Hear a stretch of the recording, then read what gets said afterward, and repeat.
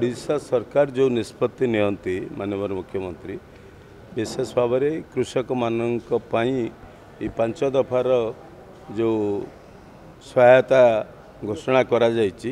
ସେଥିରେ ସରକାର କୌଣସି ଦୃଷ୍ଟିରୁ ବିଳମ୍ବ କରିବା ପାଇଁ ଚାହାନ୍ତି ନାହିଁ। ସେ କାର୍ଯ୍ୟଗୁଡ଼ିକ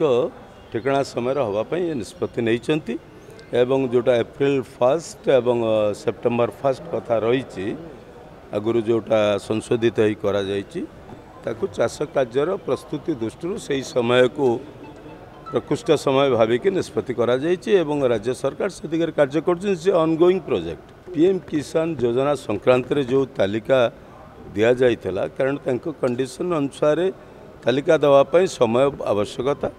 ଏବଂ ଯେଉଁ କାଳିଆ ତାଲିକାରୁ ତାଙ୍କୁ ଯେଉଁ ପ୍ରଥମ ପର୍ଯ୍ୟାୟ ଦିଆଯାଇଥିଲା ସେଥିରୁ ମଧ୍ୟ